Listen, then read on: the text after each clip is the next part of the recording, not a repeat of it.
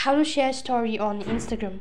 Hi guys. Welcome back to another episode. Today i'll be showing you the ways to share story on instagram.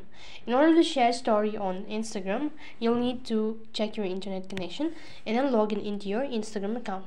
So you can tap at the bottom or swipe towards your right hand side anywhere near the feed you can just tap the plus icon from right over here and uh, then you can just select the particular content that you wish to add it as your story and tap the next button. On the other page you can tap on next once again and uh, here you can go ahead and select add to story. From the bottom you can just go ahead and tap on your story and when you're ready to share tap to either you could tap on your story or add it to your close friend list.